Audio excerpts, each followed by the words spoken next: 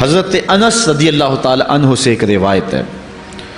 कहते हैं समय तो रसूल अल्लाह अलैहि वसल्लम यकूलो, मैंने हुजूर अलैहिस्सलाम को फरमाते हुए सुना है।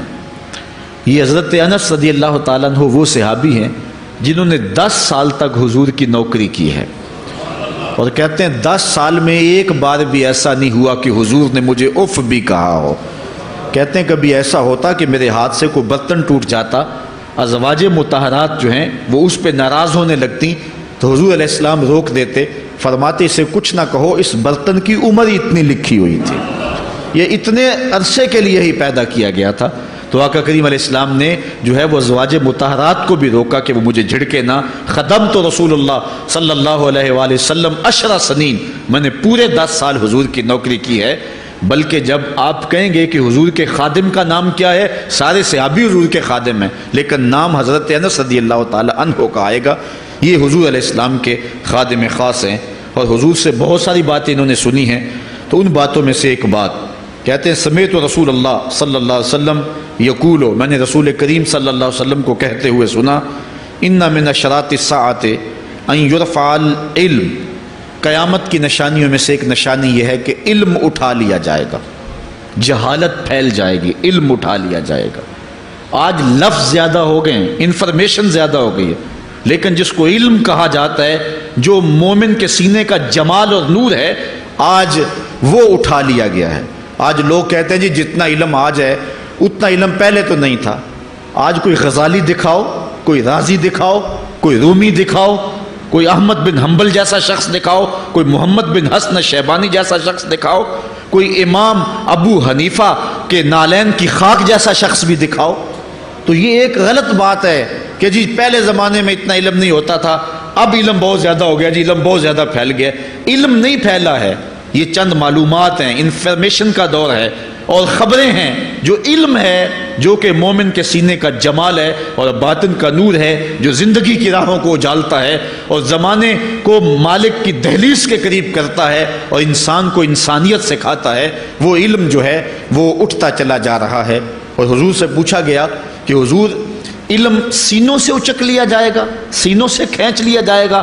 फरमाया, नहीं ओला माँ उठा लिए जाएँगे।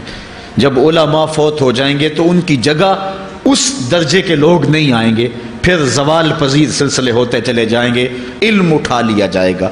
जब सीने इल्म से खाली हो जाएँगे तो फिर क़यामत आ जाएगी। इसलिए हजूर इस्लाम का फरमान है, कायनात की हर शय ओलामा की ज़िंदगी की दुआएँ मांगती है। हत्तल ही तान फिल बहर। यहाँ तक के समंदरों और दरियाओं के अंदर मछलियाँ भी ओलामा की ज़िंदगी की दुआएँ मांगती हैं। उन्हें पता है ओलामा हैं तो कायनात मार्ज वजूद में आई तो मौजूद रहेगी। अगर ओलामा नहीं होंगे तो कायनात जो है, वो बिल्कुल क़यामत का शिकार हो जाएगी। तो पहली चीज़ हजूर ने शाद फरमाया युरफ़ाल इल्म उठा लिया जाएगा। वह यक्स और जहल और जहालत आम हो जाएगी। इल्म की जगह जो है वो जहालत आम हो जाएगी। आज ओलामा नहीं रहे हैं। आज हम जो है वो इहिसार करने लगे हैं चंद टेलीविज़न चैनलों पे। और उसका नतीजा क्या है कि मुख्तलिफ़ चैनल्स के ऊपर बैठे बहुत सारे लोग गुमराही फैला रहे हैं। ये एक अलग दास्तान है, एक अलग कहानी है कि किस तरह से इल्म का गला घूंटा जा रहा है और किस तरह जो है वो लोगों को गुमराह किया जा रहा है। ये जहालत की कसरत है।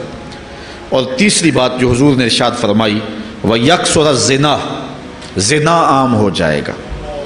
नज़र का जना, ये तो इस ज़माने के अंदर बुरा रहा ही नहीं है। लोग इसमें कोई आर ही नहीं समझते। किसी की बहन और बेटी को देखना और अपनी आँखों को शहवात से भरना, ये बंदा महसूस ही नहीं करता है। हजूर सलाम ने इर्शाद फरमाया, मन जना, जुनिया बेही, वलो बेही ताने दार ही जिसने जना किया ये अमल उसके घर भी लौटेगा। अगरचे वो अपनी दीवारें ऊँची ऊँची क्यों नहीं कर लेता? अगर आज कोई किसी की बहन बेटी पर अपनी नज़रों को गलीस करता है तो वो ये कैसे कह सकता है कि मेरी बहन और मेरी बेटी किसी की गंदी नज़रों का शिकार नहीं होगी? ये मकाफात अमल हैं। गंदम अज गंदम बरोद जो जो, अज मकाफात अमल गाफिल मशो। इसलिए बदकारी फैल जाएगी। नज़र की बदकारी और हर तरह की बदकारी। और ये इतना बुरा और कभी काम है कि अल्लाह ताला जल्ला शाहू ने कुरान मजीद में इसे खुली बेहयाई करार दिया है। आज मीडिया के ज़रिए, आज इंटरनेट के ज़रिए और ये जो मोबाइल पैकेज की मुसीबत निकली है, इससे मुआरे का अमन ख़राब हो गया और मुआरे के अंदर हया का जौहर जो है, वो लूट लिया गया है। अपनी नस्लों की हिफाजत करें, उनके हाथों से जो है वो नावल छीनें और उनके हाथों से जो है वो इस तरह की मुखरब अखलाक सीढ़ीज छीन लें और उनके हाथों में अल्लाह का कुरान दें और रसूल करीम की अहादीस थमाएँ और उनको राह हक का मुसाफिर बनाएँ। ये ज़िम्मेदारी है वालदेन की। कल क़यामत के दिन एक औरत चार मर्दों को जहन्नम में ले जाएगी। अर्ज़ किया गया वो कैसे? फरमाए एक औरत को हुक्म होगा जहन्नम का तो वो अर्ज़ करेगी, मालिक मेरे बाप को बुलाया जाए। बाप को बुलाया जाएगा। या अल्लाह, ये मेरा बाप है, मैं इसकी बेटी। मेरी तरबियत का जौहर इसके हाथ में था। आज जिन बदकारियों और गुनाहों के सबब जहन्नम में जा रही हूँ, उसका ज़िम्मेदार ये है। वो बाप जिसने अपने बेटी को सब कुछ दिया, अपनी औलाद की तालीम के लिए अपने प्लाट बेच दिए, जायदादें फ़रोख्त कर दी, नहीं दिया तो दीन नहीं दिया। कल क़यामत के दिन वो अल्लाह के हुजूर क्या जवाब देगा? इर्शाद होगा, इसे भी पकड़ो, इसके बाप को भी पकड़ो, जहन्नम में ले जाओ। अर्ज़ करेगी नहीं मालिक, मेरे भाई को बुलाया जाए। भाई को बुलाया जाएगा? मालिक, ये मेरा भाई है। मैं इसकी गैरत थी। मैं जिन राहों पे चल करके तेरे अताब और तेरे कहर गज़ब की हकदार बनी, उसका ज़िम्मेदार ये है। अगर ये मुझे रोकता, अपनी आबरू की हिफाजत करता, अपनी नामूस का पहरा देता तो मैं उन रास्तों की मुसाफिर कैसे बनती? मेरी खराबी का ज़िम्मेदार ये है। अब वो भाई क्या जवाब देगा जो चौकों और मोड़ों पे खड़ा होके आने और जाने वाली बहनों और बेटियों को देखता है और ये समझता है कि मेरी बहन और मेरी बेटियाँ घर में महफूज हैं। वो क़यामत के दिन क्या जवाब देगा? इर्शाद होगा, इसे भी पकड़ो, इसके बाप को भी पकड़ो, भाई को भी पकड़ो, जहन्नम में ले जाओ। अर्ज़ करेगी, नहीं मालिक, मेरे शोहर को भी बुलाया जाए। बुलाया जाएगा, मालिक, ये मेरा शोहर है और मैं इसकी बीवी मेरी तरबियत का जौहर माँ बाप के बाद इसके हाथ में था और इसके पास तलाक की धमकी ऐसी चीज़ थी, मुझे जो चाहता मनवाता और जिस अंदाज में ढालना चाहता, मुझे ढाल लेता। लेकिन इसने मुझे कभी राह हक की तरफ़ नहीं बुलाया था। वो शोहर क्या जवाब देगा? जो ख़ुद अपने दोस्तों को चाय पे बुला के और अपनी बीवी को सामने बरहना मुँह बिठा के बाद में उसके हुसन की दाद माँगता हो, बताओ भाभी कैसी है? तो वो क्या जवाब देगा क़यामत के दिन? इर्शाद होगा, इसको भी पकड़ो, इसके बाप को भी, इसके शोहर को भी, और उसके भाई को भी जहन्नम में ले जाओ। अर्ज़ करेगी, नहीं मालिक, मेरे बेटे को भी बुलाया जाए। बेटे को बुलाया जाएगा। मालिक, ये मेरा बेटा है, मैं इसकी माँ हूँ। मेरे सीने में इसके लिए तड़पती हुई ममता तूने रखी थी। ये रूठ जाता तो ज़िंदगी उजाड़ हो जाती। जो भी चाहता जिद करके मनवा लेता मुझे किसी के घर के बर्तन भी मांझने पड़े तो मैंने उससे भी गुरेज नहीं किया, इसकी हर फरमाइश को पूरा किया। अपना जेवर बेच के इसकी तालीम मुकम्मल करवाई। अगर ये ज़िद करता कि अम्मी आप नमाज़ नहीं पढ़ती, मैं आपके हाथ का खाना नहीं खाऊँगा। अम्मी आप ये अमल क्यों करती हैं? ये शरीयत में जायज़ नहीं है तो मैं जो है वो खाना नहीं खाऊँगा तो क्या मेरी ममता मजबूर ना हो जाती? इसने सारी ज़िंदगी क्या मुझे इसके बारे में कोई कहा था, नेकी की तरफ़ बुलाया था, बदी से रोका था? जिस बेटे ने अपनी माँ से हर जिद पूरी करवाई हो तो उसने सिर्फ़ दीन के बारे में कोई जिद नहीं की है। तो वो कल क़यामत के दिन क्या जवाब होगा? इरशाद होगा, इसे भी पकड़ो, इसके बाप को भी पकड़ो, इसके खामन को भी पकड़ो, भाई को भी पकड़ो, बेटे को भी पकड़ो और पाँचों को घसीट के जहन्नम में ले जाओ। फरमाया, एक औरत चार मर्दों को क़यामत के दिन जहन्नम में ले जाएगी। इसलिए मैं और आप आज देख लें कि हमारा आखरत का मामला क्या होने वाला है और हमने इस दुनिया के अंदर किस तरह अपनी हिफाजत करनी है। चौथी चीज़ जो हजूर ने शाद फरमाई, वह यकसरा शुरबल खम्र और शराब पीना आम हो जाएगा। ये कुर्ब क़यामत की अलामत है। आज हमारी एलीट क्लास में और हमारे आयान हुकूमत, आयान सल्तनत और सियासतदानों और जो है वो वाली नसब ख़ानदान जो शुमार किए जाते हैं उनमें शराब पानी की तरह समझी जाती है। और आज हमारे मुल्क के अंदर जो है वो कितने शराब खाने मौजूद हैं और कितने टनों के हिसाब से जो है वो बैरून मुल्क से शराब दरामद की जाती है। ये कुर्ब क़यामत की निशानी है कि शराब आम हो जाएगी। एक रिवायत में आता है, शारबुल खमर का आब दिल वस्म शराब पीने वाला बुत पूजने वाले की तरह है। कितना सख्त फरमाया गया। और कल क़यामत के दिन सख्त रसुआ होगा जो दुनिया के ऊपर शराब पीता रहा होगा। अल्लाह ताला हम सबको महफूज फरमाए। व यकिल्ला रिजाल व यकसरसा और एक निशानी हजूर ने यह इर्शाद फरमाई कि मर्द थोड़े हो जाएँगे और औरतें ज़्यादा हो जाएँगी। एक तो औरतों की अफजाइश ज़्यादा होगी और दूसरी बात, मुख्तलिफ़ हंगामों में हादसा में और जंगों में मर्द कत्ल कर दिए जाएँगे और औरतें ज़्यादा हो जाएँगी। यहाँ तक कि हजूर ने फरमाया हती यकूना लमसीना इमरातन अलकयमवाहिद यहाँ तक कि पचास औरतों का एक मर्द मुंतज़म होगा। पचास औरतें होंगी और कमाने वाला सिर्फ़ एक मर्द होगा। ये कुर्ब क़्यामत के हालात हैं जो हुजूर ने बयान किए। हालात इस तरफ़ बढ़ रहे हैं और एक वक्त वो आने वाला है कि बिल्कुल जो हुजूर ने फरमाया वो चीज़ें सामने आएँगी। हज़रत अबू सईद खुदरी रदी अल्लाह तह से एक रवायत सुनिए। हजूर ने इशाद फरमाया, मुझे कसम उस रब की जिसके कब्ज़े में मेरी जान है। उतनी देर तक क़यामत नहीं आएगी। ये वक्त भी आएगा कि जानवर इंसान से बातें करेंगे। इंसान उनकी बोली समझेगा और वो इनसे बातें करेंगे। वह हत्ता तो कल रजुला अजबत सोते ही और उसके कोड़े की जो रस्सी है, उसका जो फुंदना है, वो भी इंसान से बातें करेगा। वह शरा को ना ले ही, और उसके जूते का तस्मा भी उससे बात करेगा। युख बेरा फ़ाखजहू बेमा अहदसा अहलहू बादहू, उसका घुटना उसको बता देगा। उसके बाद में उसके घर वालों ने जो बातें की हैं, ये हालात पैदा हो जाएँगे। आज मोबाइल और जदीद टेक्नोलॉजी आ रही है तो इस बात को समझना मुश्किल नहीं है। उस ज़माने के अंदर जबकि इन चीज़ों का तस्वर भी नहीं था सहाबा ने फिर भी यकीन किया कि होगा, हजूर ने कहा है, और आगे बयान किया। और आज तो हालात नज़र आ रहे हैं कि बिल्कुल जो हजूर ने बताया, वो सब कुछ जो है, वो होने वाला है। हज़रत अबू हरेरा रदी अल्लाह तह से एक रिवायत है। ये वो सहाबी हैं जिन्होंने सबसे ज़्यादा हजूर सलाम के फ़रामीन उम्मत तक पहुँचाए हैं। कसरत के साथ हजूर की सोहबत का दूर पाया और असाब सुफ़ा में से थे। ज़िंदगी का एक एक लम्हा हजूर की कुरबत में गुजारा। हज़रत अबू हरारा रदी अल्लाह तु फरमाते हैं कि रसूल करीम सल्ला वसल्लम ने इरशाद फरमाया, इज़्ज़त तो फ़ै देवालन जब माल गनीमत को, जब सरकारी ख़जाने को अपनी ज़ाती दौलत समझा जाएगा, उसमें तसरफ़ किया जाने लगेगा। सरकारी ख़जाने में लोग जिस तरह चाहेंगे तसरफ़ करेंगे, एक ज़माना आएगा, और वो देख लो बिल्कुल हमारे सामने। वल अमानत तो मगनमन और अमानत को माल गनीमत समझा जाएगा। जिस तरह गनीमत बंदा इस्तेमाल करता है, वो अमानत को ही इस तरह गनीमत समझेगा और उसको जो है वो गस्ब कर जाएगा। ज़क़़त मगरमन और ज़क़़त को टैक्स समझेगा, मजबूर होकर देगा। वो ज़क़़त देना चाहेगा ही नहीं और आज कितने लोग हैं जो ज़क़़त नहीं देते अगर लोग सही तौर पर ज़क़़त अदा कर दें और ज़क़़त के जो हकदार हैं, उन तक पहुँचे तो पाकिस्तान में सिर्फ़ एक दो सालों के अंदर गुर्बत ख़त्म हो जाए। इतनी दौलतें हैं लोगों के पास, इतनी जायदादें हैं लोगों के पास।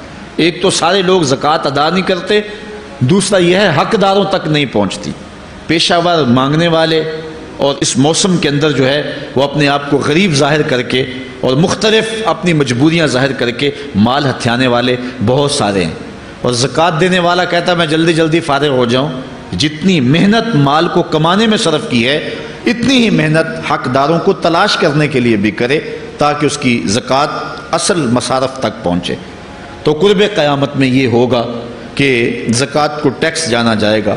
व तोल्मा गैर दीन और इलम दीन के लिए हासिल नहीं किया जाएगा। दीन के अलावा के लिए हासिल किया जाएगा। इसके दो तीन मफाहिम हैं। एक तो मफहम है कि इल्म दीन हासिल करना लोग छोड़ देंगे। वो इंजीनियर और डॉक्टर और क्या कुछ बनने के लिए जो है, वो इल्म हासिल करेंगे। नाम खिदमत इंसानी ही है कि मैं ये सब कुछ करके अपने वतन की खिदमत करूँगा, इंसानियत की खिदमत करूँगा। लेकिन बाद में जब मसनों पर बैठते हैं और जो हाल करते हैं वो किसी से मख्फी नहीं है। मसीहा फिर किस रूप के अंदर आता है और किस तरह कौम को दोनों हाथों से लूटता है। ये कुर्ब क़यामत की निशानियाँ हैं। हर बंदा जो है, वो इल्म, तालीम हासिल अच्छा इंसान बनने के लिए नहीं बाकिरदार शख्स बनने के लिए नहीं अच्छा मोमिन बनने के लिए नहीं, साले फर्द बनने के लिए नहीं, बल्कि कमाई करने के लिए, ज़्यादा से ज़्यादा पैसे कमाने के लिए वो इल्म हासिल करेगा। और दूसरी ये बात कि जो दीन का इल्म भी हासिल करेंगे, वो भी गर्ज़ वायद जो है, वो अपनी छोड़ देंगे, जिस मकसद के लिए जो है, वो इल्म हासिल किया जाता है। और ये कुर्ब क़यामत की निशानी जो हजूर ने बयान की, ये भी हम अपने ज़माने में देख रहे हैं। वह अता रजुल इमराता हो और आदमी अपनी बीवी की अतात करेगा। जो बीवी कहेगी, वो मानेगा। वह अक्का उम्मा हो और माँ को आग कर देगा। माँ की परवाह नहीं करेगा। माँ की नाफरमानी करेगा। बीवी की बात को तरजीह देगा। और माँ की बात जो है, उसको सानवी हैसियत देगा। बहुत बदबख्त तो ऐसे हैं कि जो माँ बाप को वैसे ही दकियानूसी का ताना दे के कहते हैं, तुम्हें तो पता ही नहीं किसी बात का, दुनिया कहाँ चली गई? और उनकी किसी बात को, किसी मशवरे को और किसी हुक्म को कोई तरजीह नहीं देते। लेकिन जब बीवी और माँ दोनों का हुक्म मुकाबले में आ जाए तो उस वक़्त वो बीवी के हुक्म को तरजीह देंगे। ये कुर्ब क़यामत की अलामत है, जो कि हम वाज तौर पर अपने मुआरे में देख रहे हैं। वह अदना सदीका हो व अक्स आबा हो दोस्त करीब होंगे, बाप दूर होगा। दोस्तों को कुर्बत दी जाएगी, उनके साथ बैठना उठना भी होगा, खाना पीना भी होगा गप शप भी होगी। दोस्त एक बैल दे तो बंदा दौड़ा जाएगा दोस्त की पुकार पे। लेकिन माँ बाप जो मर्ज़ी कहें तो माँ बाप की बात को कोई तरजीह नहीं दी जाएगी। ये कुर्ब क़यामत की निशानियों में से एक निशानी है। और इस वजह से आज लोग महरूम हो गए हैं और घरों में बरकत नहीं रही। माँ बाप अगर कुछ कहें, कोई चीज़ लाने के लिए भी कहें तो बच्चा सौ सौ बहाने करता है और दोस्त की पुकार पे लब्बैक कहता हुआ भाग उठता है। वजाहरतलसवा तो फिल मसाजिद। मस्जिदों में लड़ाइयाँ होंगी। मस्जिदों में जो है वो आवाज़ें बुलंद होंगी लड़ाइयों की, एक दूसरे से उलझाव पैदा हो जाएँगे। आज हमारी मस्जिदों में पंखा बंद करने से लड़ाइयाँ शुरू हो जाती हैं। ये बिल्कुल आपके करीब एक शहर में हुआ है। एक आदमी कत्ल हो गया। सिर्फ़ इस मामले में कि वो एक कह रहा था कि लाइट बंद कर दो और दूसरे ने कहा कि मैं नमाज़ पढ़ रहा हूँ तो तुमने मुझे देखा नहीं। और इस बात पे लड़ाई शुरू हुई अत्ता के फायरिंग तक नौबत पहुँची और एक आदमी जो है वो कत्ल हो गया। आपने अखबार में पढ़ा होगा। तो इस तरह मस्जिदों के अंदर जो है वो लड़ाइयाँ शुरू हो जाएँगी। ये कुर्ब क़यामत की निशानी है। वसादल कबीलात फ़ासिक हम कबीले का सरदार सबसे फासिक और बदतर शख्स होगा। ख़ानदान का, कबीले का, बरदरी का, वही सरबरा होगा, वही कायद होगा, वही लीडर होगा, वही पंच होगा, जो जितना बड़ा गुंडा और जितना बड़ा बदमाश है। उसको ही जो है, वो सरपरस्ती जाएगी। शराफत नाम की चीज़ ही बाकी नहीं रहेगी। शराफत के बल बोते पे आगे ना कोई सियासत में आ सकेगा, ना कोई ख़ानदान में आगे आ सकेगा। बल्कि अब तो हाल ही हुआ कि अब हमारी महाफिल और आरास के अंदर भी जो मेहमान खसूसी रखे जाते हैं, वो भी इस एतबार से नहीं रखे जाते कि मुतकी शख्स तलाश करो, जिसको मसंद सदारत पर उठाया जाए, जिसको मेहमान खसूसी रखा जाए। उसमें भी ये देखा जाता है कि किसका असर मुआरे के अंदर ज़्यादा है, चाहे वो असर रसूख उसने मनशियात फ़रोख्त करके ही हासिल किया हो। किसकी दौलत ज़्यादा है, चाहे उसने वो दौलत लोगों का खून निचोड़ के हासिल की हो। वही मेहमान खसूसी होता है महफिल नात में, चूँकि वो पैसे ज़्यादा फेंक सकता है और एक गरीब आदमी जो कि तहजद की नमाज़ पढ़ने का भी आदि है, उसको जूतियों पर जगह मिलती है। उसका कसूर सिर्फ़ ये है कि वो गरीब है और उसके पास हराम की कमाई नहीं है। ये हजूर इस्लाम ने निशानी फरमाई और जो आज हम अपनी आँखों से देख रहे हैं, वसादल कबीला फासिक हम कबीले का सरदार जो है, वो बदतर और फासिक शख्स होगा। वकान ज़ईमुल्कों में अर्ज़लहम और कौम का जो सरदार होगा, वो कौम का कमीना तरीन शख्स होगा। यानी कौम का जो सबसे कमीना शख्स होगा, वो सबसे ऊँची वाली मसनत पर बैठा होगा। और आप देख लें, सिर्फ़ पाकिस्तान में नहीं, पूरी दुनिया पे देख लें क्या ऐसा नहीं देख रहे हम, कि जो बदबख्त है, जो कमीना तरीन शख्स है, फलक ने बख्शी है उन्हें खाजगी, जो जानते नहीं रवश बंदा परवरी क्या है। जिनको अपने नफे नुकसान का भी नहीं पता, अपने अपने आप का भी शौर नहीं है, हम कौन है, किस लिए आए हैं, जो मकसद हयात से भी आगाह नहीं है तो वो कौम के सरदार होंगे। सियासी तंजीमें हों या दीगर तंजीमत हों। माशा अक्सर हाल यही है जो अल्लाह के महबूब इस्लाम ने बयान फरमाया, जहाँ कहीं भी शराफत, नजाबत और अच्छे लोगों को बरतरी है आहिस्ता आहिस्ता वो कम होती चली जाएगी। और यही होगा सारे का सारा निज़ाम। जब क़यामत आएगी तो यही होगा कि जितना बुरा शख्स होगा, जितना करप्ट शख्स होगा, जितना जालिम शख्स होगा, जितना डाकू लुटेरा और इंतहाई कमीना सिर्फ़ शख्स होगा, वही जो है वो कौमों का सरदार होगा। व उक्र रजुलो मखाफत शर रही और आदमी की इज़्ज़त उसकी शर से बचने के लिए की जाएगी। फ़लाँ बंदे से अगर ताल्लुक़ कायम ना रखे तो हमें नुकसान पहुँचाएगा। आज दस नंबर का गुंडा भी हो तो लोग उससे ताल्लुक़ ज़रूर उस्तवार रखते हैं। ये फ़ख्र समझते हैं। आजकल अफ्तार पार्टियाँ हो रही हैं और उसमें उनको बुलाया जाता है दावत अफ्तार पर, जिन्होंने रोज़े ही नहीं रखे हुए। ये अफ्तार पार्टियाँ नहीं हैं। ये एक तमाशा है जो लगाया जाता है।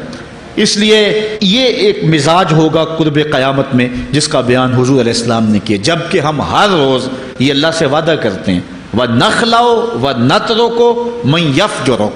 दुआ कनूत में कहते हैं अल्लाह, जो तेरे हुक्मों को तोड़ता है, हमारा उससे कोई ताल्लुक नहीं होगा। ये रोज़ अहद करते हैं, लेकिन मस्जिद से निकल के उस अहद को तोड़ देते हैं, बल्कि बहुत सारे तो मस्जिद के अंदर ही तोड़ देते हैं। व ज़हरा तिल कै नातो वल माजिफ़। और गाने वाली और बजाने वाली औरतें, और गीत गाने वाली औरतें, रंडियाँ ये जो है वो गाना शुरू कर देंगी और ये आम हो जाएगा। अब तो हद हो गई कि मज़हब के नाम से भी ये सब कुछ हो रहा है। ये शाम कलंदर के नाम से जो पूरे मुल्क के अंदर एक जो है तकरीब शुरू हुई है, उसमें जो है इन औरतों को बुलाया जाता है। और लिखा होता है बाकायदा इश्तहारों के ऊपर कि फ़लाँ जो है वो गाने वाली आएगी और वो जो है वो अपना कलाम पेश करेगी। और ये मज़हब के नाम पे हो रहा है।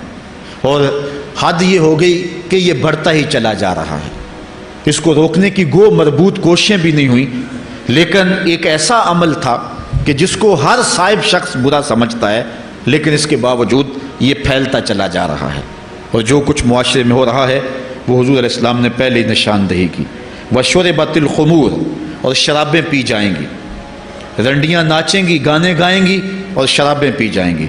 व लाना आखिर हाजिल उम्मा अव्वलहा। इस उम्मत के बाद में आने वाले लोग पहले गुजरों पर लानत करेंगे। कहीं उन्हें तो पता ही नहीं है। पाकिस्तान के अंदर बाकायदा आर्टिकल छपे अखबार में कि मोहम्मद बिन कासम जो है वो डाकू था, सुल्तान महमूद गजनवी लुटेरा था। ये मजामी शाया हुए। सहाबा को गालियाँ नहीं दी जा रही। कितने लोग हैं जो सहाबा को बुरा भला कहते हैं? और हजूर इस्लाम के वालदेन तय्यबैन जिनकी वसात से ये दुर्रे और गोहर शाहबाज मोहम्मद नसीब हुआ, उन वालदेन को मिम्बरों पर बैठ के क्या जहन्नमी नहीं कहा जा रहा? तो ये वो ज़माना क्या इमाम हुसैन को बागी नहीं कहा जा रहा? पहले लोग अंदर दाखिल होकर करते थे और किताबचे छापते थे, अब आहिस्ता आहिस्ता मिम्बरों पर भी आ गए और ये बात कही जाने लगी है। इस पर बाकायदा इज्तमात मुनद होते हैं, उस पर कहा जाता है। एक टी वी चैनल के ऊपर यजीद को जो है वो रहमत ताला कहा गया, क्या कुछ नहीं हुआ? ये सब कुछ आपके सामने है। ये हजूर ने बयान फरमाया, ये होना था। आका करीम इस्लाम ने शाद फरमाया, वो वक्त आएगा कि जो आखिर वाले होंगे, वो समझेंगे कि हम ही जो है वो दीनदार हैं, हमें दीन का ठेका और पिछलों पर लानत भेजेंगे कि उन्हें क्या पता था दीन का। आज पिछलों के अकायद पर हमले हो रहे हैं और उन्हें मुशरक कहा जा रहा है। मैंने एक दिन कहा था ये बड़े ज़ोर से कहा जाता है, जो यारसोल्ला के वो मुशरक हो जाता है। मैंने कहा, देखो, इस फतवे का असर कहाँ तक जाता है? हजूर इस्लाम के सारे सिहाबी, आका करीम इस्लाम की मौजूदगी के अंदर भी, और फिर देखिए, मुसलमा कज़ाब के मुकाबले में जो जंग लड़ी गई, उस जंग के अंदर हज़रत खालिद बिन वलीद ने लिखा कि काफिर भी अल्लाह अकबर का नारा लगाते हैं, हम भी अल्लाह अकबर का नारा लगाते हैं। फ़र्क नहीं मालूम होता अपना कौन सा है और बेगाना कौन सा है। तो हज़रत सिद्दीक अकबर ने लिखा कि जब वो अल्लाह अकबर का नारा लगाएँ, तुम उसके जवाब के अंदर या मोहम्मद आहो का नारा लगाओ। वकाना शियारमसलमिन योमन या मोहम्मद आहो। उस दिन मुसलमानों का शियार ही ये था जो या मोहम्मद या रसूल अल्लाह कहता था, वही मोमिन माना जाता था, बाकी को तहे तेग कर दिया जाता था। तो अगर या रसूल कहना शिरक है तो फिर सारे सहाबी वो दस हज़ार सहाबा जो जंग यमामा में शामिल थे, उनके बारे में फिर क्या कहोगे? फिर हज़रत जैनलाबिदीन के बारे में क्या कहोगे? जो करबला के मैदान में मदीने की तरफ़ मुँह करके कह रहे हैं, या रहमत आलमी अदरिक जैन आबिदीन। फिर हज़रत जैनब के बारे में क्या कहोगे? या मोहम्मद आहो या मोहम्मद आहो हाजा हुसैन मुजम्मिल दमा हो, जो करबला में खड़ा होकर कह रही हैं, ए मेरे नाना हुजूर, ए मोहम्मद अरबी, आपके हुसैन को देखो, खून में नहा गया हुआ है तो फिर क्या ये फतवा तुम्हारा कहाँ तक पहुँचेगा? ना सिहाबा बचेंगे, ना अहल बैत बचेंगे, और ना औलिया उम्मत बचेंगे, जिन्होंने कहा था, या रसूल अल्लाह हालाना। या हबीब अल्लाह इसमा कालाना। तो ये क़्यामत की निशानियाँ हैं कि अगले जो हैं वो पिछलों पर लानते भेजेंगे, उनको बुरा भला कहेंगे। सियाबा को गालियाँ, अहल बैत को गालियाँ, नवासब में क्या कुछ नहीं किया है? और आज भी जो दुनिया के ऊपर नास भी हैं वह अहल बैत के बारे में क्या क्या ज़ुबान इस्तेमाल नहीं करते? हजूर के वालदेन के बारे क्या कुछ नहीं कहा जाता? तो ये सब कुछ होने वाला है, जो हजूर ने बयान किया, कुछ हो रहा है, और कुछ तुम देखोगे अपनी आँखों के सामने। फिर इर्शाद फरमाया फ़ल तक वो इंदाल का रीहन हमरा, व जलजिलतन, व खसफन, व मसखन, व कज़फन, व आयातिन तो ताबो का निज़ामिन, कोतया सिल्कहू फ़तो ताबो फरमाया कि फिर जब ये हालात होंगे और ये पूरी तरह हालात माशरे में पैदा हो जाएँगे तो फिर सुरख आंधियाँ आएँगी। फिर इंतज़ार करना सुरख आंधियों का, व जलजिलतन और जलजले का इंतज़ार करना। व खसफन व मसखन व कज़फन। और धंसने का इंतज़ार करना, ऊपर से पत्थरों के नाजुल होने का शक्लों के बिगड़ने का इंतज़ार करना। और आगे फरमाया वायातिन और ऐसी निशानी आएँगी, एक दूसरे के पीछे आएँगी। जिस तरह तस्वीर का धागा टूट जाए तो पैदल पै उसके दाने गिरते हैं तो ये सारे अजाब जिनका ज़िक्र हजूर ने किया, मैं मुसलसल ऊपर नीचे, ये तुम्हारे तक पहुँचेंगे। हज़रत अनस सदी अल्लाह तु से एक और रिवायत लेते हैं। हजूर इस्लाम ने शाद फरमाए ला तकू मुसात हती यतकारा बज़मानो फ़तकून सनत का शहर व शहर कल जुमा व तकून जुमा तो कल योम व यकून योम का सा व तकून सा तो का दरमत बिन नार फरमाया, जब क़्यामत आएगी, उतनी देर तक कायम नहीं हो सकती। जब तक ज़माने मुख्तसर नहीं हो जाएँगे, ज़माने सिमट नहीं जाएँगे हती कि साल महीने जितना हो जाएगा। और महीना एक जुमातुल मुबारक जितना हो जाएगा, और एक जुमा एक दिन जितना हो जाएगा, और एक दिन एक घड़ी जैसा हो जाएगा, और एक घड़ी ऐसे होगी जिस तरह आग का शोला जलाया और वो बुझ गया। और आज आप देख नहीं रहे कि दिन कितनी जल्दी गुजरता। किसी ज़माने में हम गर्मियों की छुट्टियाँ काटते थे तो गुजरती नहीं होती थी गर्मियों की छुट्टियाँ। लेकिन आज आप देखें, ये दोपहर नहीं गुजरती होती थी रमज़ानुल मुबारक, गर्मियों के रोज़े जब हमारे बचपन में आए थे तो दोपहर नहीं गुजरती होती थी। लेकिन आज वही गर्मियाँ हैं, लेकिन इधर से सूरज तुलू होता है, इधर से गरूब हो जाता है। वक़्त सिमट गए, ज़माने सिमट गए, और ये कुर्ब क़यामत की निशानियाँ हैं। ख़राबी इतनी ज़्यादा होगी। हजूर ने शाद फरमाया, हज़रत अबू हरैरा से है, आदमी गुजरेगा और एक पुरानी सी कब्र देखेगा और कहेगा व यकूल या लतनी कुन तो मकाना साहिब हाजल कब्र व लैसब हिद्दीन इल्लल फमा इंसान कब्र के करीब से गुजरेगा तो गुजरते हुए वो ठंडी आ भर के कहेगा, काश के इस कब्र का मकीन मैं होता। और फरमाया, दीन सवाए आजमाइश के और कुछ नहीं रह जाएगा। ये कुर्ब क़यामत की वो निशानियाँ हैं जो हजूर इस्लाम ने बयान की। एक और निशानी हजूर इस्लाम ने बयान फरमाई कि कुर्ब क़यामत के अंदर दीन का काम भी दिरहम दीनार से होगा। इसके दो मफाहिम हैं। एक मफहम तो ये है कि दीन का काम करने वाले भी पैसे टगे के बगैर जो है वो एक कदम नहीं चलेंगे। क्या आज दो दो तीन तीन लाख रुपए नात पढ़ने के नात खां वसूल हमसे नहीं कर रहे? और आज जो है वो क्या दीन कोड़ियों के इवज बेचा नहीं जा रहा? आज घर निकलने से कबल तय नहीं किया जाता कितने अब दोगे, कितने वापसी पे दोगे और कितने ऊपर निछावर करोगे। दीन क्या कोड़ियों के इवज और पैसे के इवज बेचा नहीं जा रहा? एक इसका मफहम यह है। और दूसरा मफहम इसका ये है कुर्ब क़यामत में अगर कोई दीन का काम करना भी चाहेगा तो दिरहम व दिनार के बगैर नहीं हो सकेगा। यानी उसको ज़रूरत होगी कि मेरे पास माल हो, हालात हों और मैं दीन का काम करूँ। अगर उसके पास हालात नहीं होंगे तो दीन का काम उसके लिए करना मुश्किल हो जाएगा। जिस तरह किसी ज़माने में ओलामा बरगद की छाँव में बैठ के और लोग उनके पास भी आ गए। कोई वसाइल की ज़रूरत नहीं थी, वो पढ़ा सकते थे, लोग बैठ गए। इमाम मोहम्मद बिन हसन शैबानी जब पढ़ाने बैठे तो आपकी मजलस में जो लोग आके सीखते थे, वो तादाद उनकी तो बहुत सारी थी, लेकिन जो बाकायदा आपकी बातों को लिखते थे, वो चार हज़ार लोग थे। चार हज़ार कलमे और दवातें हज़रत इमाम मोहम्मद बिन हसन शब्बानी की मजलस के अंदर पड़ी हुआ करती थी। और बाकी जो लोग थे, हज़रत गौस आज़म सैदना शेख अब्दुल कादिर जिलानी रहमा आप जब तशरीफ़ लाए मुला अली कारी ने नज़रतुल्ख़ातर अल्फ़ातर फ़ी मनाकिब शेख अब्दुल कादिर में लिखा है कि आपकी एक एक मजलस के अंदर सत्तर सत्तर हज़ार लोगों का इज्तम हुआ करता। आज थोड़े लोग इकट्ठे हो जाएँ तो हम खुश भी होते हैं और हैरान भी होते हैं। इतने लोग इकट्ठे हो गए, मियाँ ज़रूरत है लोगों की कि वो दीन सीखें। वो जाएँ ऐसी मजालस के अंदर, लेकिन लोग सिमट जाएँगे, नहीं जाएँगे। वसाइल की ज़रूरत होगी, वो बरगद के दरख्त के नीचे बैठ कर के भी लोग जो हैं वो इल्म का चराग रोशन करते थे। जब लॉर्ड मेकाले ने नसाब तालीम मुरतब किया और दरस नज़ामी को और जो है असरी को अलग कर दिया तो ये ओलामा ही थे कि जिन्होंने बरगद के दरख्त के नीचे, पीपल के दरख्त के नीचे बैठ करके इल्म के चराग को रोशन रखा। लेकिन आज अगर तुम ऐसा करना चाहोगे तो क्या मुमकिन होगा कि उस चराग को तुम रोशन रख लो? आज वसाइल की बाहर सूरत ज़रूरत है। और आज से सदियों कबल ओलामा ने यह फतवा दिया था कि सदका करना, ज़क़़त अदा करना या दीगर अमूर खैर में खर्च करना बड़ा नेकी का काम है। लेकिन सबसे बड़ा नेकी का काम इस दौर के अंदर आज से कबल ने फतवा दिया था कि दीन के तालब इल्मों पर खर्च करना है। उन पे अगर खर्च करेंगे तो ये वो एक ऐसा मौका है कि जिससे आप जो है वो हकदार तक हक भी पहुँचा लेंगे और उससे दीन को भी तकवीत होगी।